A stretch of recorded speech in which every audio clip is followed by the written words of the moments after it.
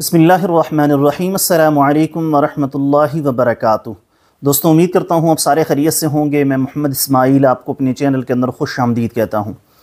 सबसे पहले मेरी अल्लाह रब्ज़त की दाद से दुआ है कि पूरी दुनिया के अंदर जितने बसने वाले इंसान हैं, अगर कोई परेशान हैं तो अल्लाह ताला उनकी परेशानी को दूर फरमाए, बीमारों को कामिल और मुकम्मल सेहत अता फ़रमाए, जो आपके हक़ के अंदर बेहतर हो, खुदा ताला सबको अता फ़रमाए।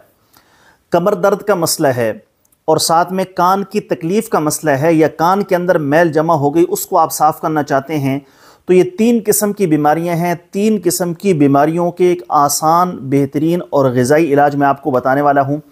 मेरे अल्लाह का फजल हुआ तो इन ताला इन आसान से नुस्खों पर अमल करके आप इन सारे के सारे मसाइल से जान छुड़ा सकते हैं। नुस्खा बताने से पहले आपसे गुजारिश है, चैनल को सब्सक्राइब कर लें और साथ में घंटी वाले बटन पर ज़रूर क्लिक कर लें।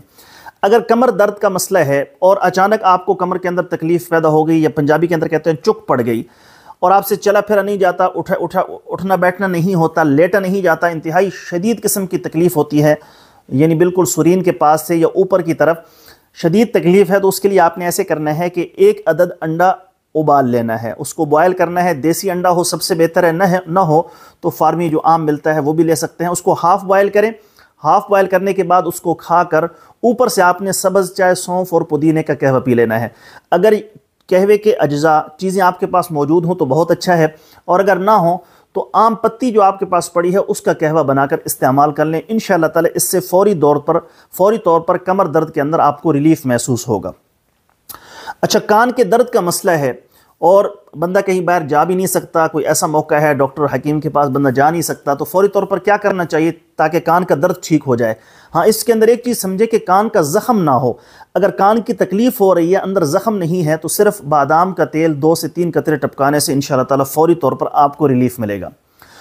तीसरी चीज़, कान के अंदर मैल जम गया है, निकलने का नाम नहीं लेता, सुनाई भी आपको कम देता है मैल के ज़्यादा होने की वजह से तो रोगन बादाम के अंदर रोगन बाबूना और रोगन बनफशा। ये दो ऑयल बादाम के तेल में मिलाकर दो से तीन कतरे, चार कतरे रात को टिपका दें। वो मैल बिल्कुल नरम हो जाएगा, सुबह आसानी से निकल आएगा। तो ये तीन आसान सी चीज़ें हैं जो तीन बीमारियों के लिए इन शाह आपके लिए इंतहाई बेहतरीन और कारगर साबित होंगी, जिनको ये मसाइल हों, इन नुस्खों को बनाकर इस्तेमाल करके इससे फ़ायदा उठाएँ। अल्लाह ताला आपका हामी और नासिर हो। इन ताला जल्द एक नई वीडियो के साथ मैं आपकी खिदमत में हाजिर होंगे इजाज़त दीजिए, शुक्रिया। अल्लाम वरहमल वर्का